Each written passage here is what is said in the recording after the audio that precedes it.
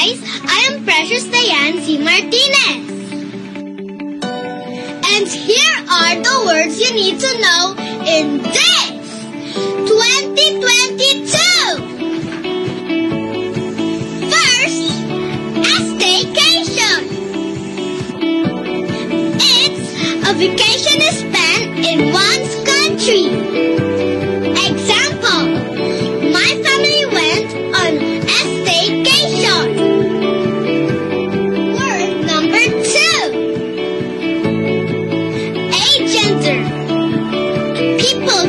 identify as male or female. Example, he was identified